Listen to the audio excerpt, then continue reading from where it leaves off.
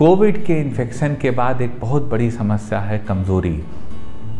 जिनको भी कोरोना हुआ है, उसमें लगभग 80 परसेंट ऐसे मरीज़ हैं, जो कि आज भी जिनको कमज़ोरी महसूस होती है। आज हम बताएँगे आपको इसी समस्या से बाहर आने की कुछ होम्योपैथिक दवाएँ।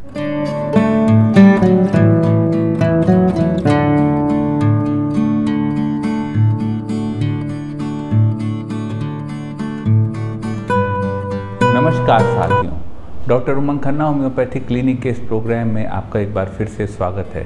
साथियों आज हम बात करेंगे कोविड या यानी कोरोना के इन्फेक्शन के बाद आई वीकनेस पर कमज़ोरी पर।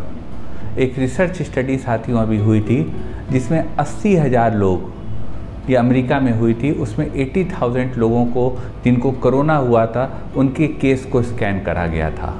पूरे केस को लिख के उसको पूरे पैरामीटर्स को मॉनिटर करा गया था और उसमें से माना गया कि जो अस्सी हज़ार लोग थे, अस्सी हज़ार लोगों में से साठ हज़ार लोगों पे कोई ना कोई दिक्कत रही थी कोरोना के बाद भी, रिकवरी के बाद भी, और उसमें सबसे बड़ी दिक्कत थी फटीक यानी कमज़ोरी। जो कोविड फटीक कोविड फटीक जो है, वह एक चिंता का विषय हो जाता है जब आदमी अपना रेगुलर वर्क नहीं कर पाता, काम नहीं कर पाता और उसको परेशानी उठानी पड़ती है। आज हम बताएँगे साथियों, कोरोना के बाद आए फटीक को ठीक करने की कुछ कारगर होम्योपैथिक दवाएँ। दवाएँ साथियों कारगर हैं, लेकिन आपसे मैं निवेदन करूँगा, कोई भी दवा बिना कुशल चिकित्सक से पूछे मत लीजिएगा। तो चलते हैं साथियों उस सफ़र पे, जिस पे आपको बताते हैं, कोरोना के बाद आए कमज़ोरी को दूर करने की कुछ होम्योपैथिक दवाएँ। पहली स्थिति साथियों आती है मेंटल स्ट्रेस। जब आपको कोविड होता है तो आपके दिमाग में तनाव आता है। और जब दिमाग में तनाव आता है तो आप परेशान होते हैं। तो अगर किसी को कोविड हुआ है और उसके बाद उनके दिमाग में तनाव आ रहा है तो उसको दूर करने की होम्योपैथी में बहुत अच्छी दवा है कैलीफॉस।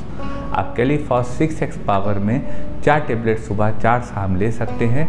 यह आपको मेंटली स्ट्रांग करेगी और आपके कोरोना के असर को ख़त्म करेगी। एक स्थिति आती है साथियों, किसी को कोविड हुआ हो, उसके बाद उनको मसल्स में बहुत वीकनेस लग रही हो। तो अगर मसल्स में बहुत वीकनेस आ रही है मांसपेशियों में बहुत वीकनेस आ रही है और कोविड मरीज़ को हुआ है तो उसको ठीक करने की और ताकत वापस लाने की बहुत अच्छी दवा है saccharum lactinum saccharum lactinum 30 power में दो दो बूंद दिन में तीन बार ऐसा मरीज़ ले सकता है। इसको कोविड के बाद मसल वीकनेस आई है। यह दवा ऐसे मरीज़ को लाभ देगी।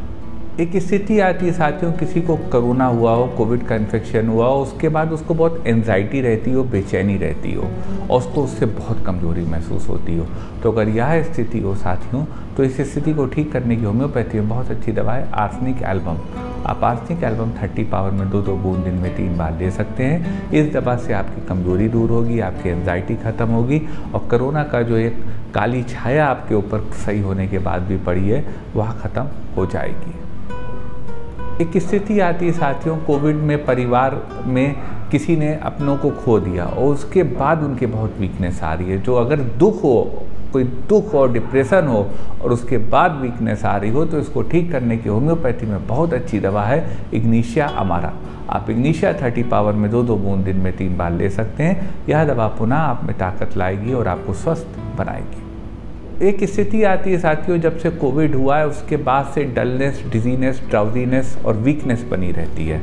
तो अगर यह स्थिति हो कि कोरोना होने के बाद से रिपोर्ट नेगेटिव होने के बाद भी उठने का, चलने का, काम करने का मन नहीं करता है, डलनेस डिजीनेस ट्राउजीनेस वीकनेस बनी रहती है तो उस स्थिति को ठीक करने की होम्योपैथी बहुत अच्छी दवा है, जलसीमियम सेमी परवाइनम आप जलसीमियम थर्टी पावर में दो दो बूंद दिन में तीन बार ले सकते हैं।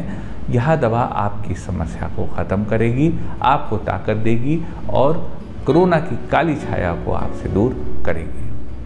एक स्थिति आती है साथियों, जब से किसी को कोविड हुआ है और रिपोर्ट नेगेटिव आ गई, तब भी उनमें गफलत मस्तिष्क में रहती है। व्यक्ति कंफ्यूज रहता है, कोई डिसीज़न नहीं ले पाता है। इस तरह का उसका दिमाग हो गया है। तो अगर यह स्थिति हो साथियों तो इस स्थिति को ठीक करने की होम्योपैथी बहुत अच्छी दवा है, सिंकोना ऑफिसनेलिस, यानी चाइना आप यह दवा 200 पावर में, दो दो बूंद दिन में तीन बार ले सकते हैं। इससे आपकी जो डिसीज़न मेकिंग पावर ख़त्म हो गई है, वह वापस आ जाएगी और आप निर्णय लेंगे, फैसले करेंगे और जीवन में आगे भी बढ़ेंगे।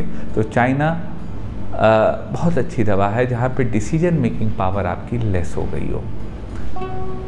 ये साथियों को दवाएँ थी। कोविड में आपको जो है वीकनेस आई है फटीग आया उसके लिए। दवाएँ साथियों, निश्चित रूप से कारगर है, लेकिन कोई भी दवा बिना कुशल चिकित्सक से पूछे मत लीजिएगा। मन में कोई क्वेरी हो तो व्हाट्सएप करिएगा, हमारे व्हाट्सएप नंबर पर प्रयास करेंगे आपकी बात का उचित जवाब दे सके। निवेदन करेंगे साथियों, यदि वीडियो आपको अच्छा लगा हो तो वीडियो को लाइक करें शेयर करें, अपने चैनल को सब्सक्राइब करें और बेल आइकन क्लिक करके सबसे पहले सबसे नया वीडियो यूँ ही प्राप्त करते रहें। आपका साथियों हमारे साथ इतनी देर रहने के लिए बहुत बहुत धन्यवाद।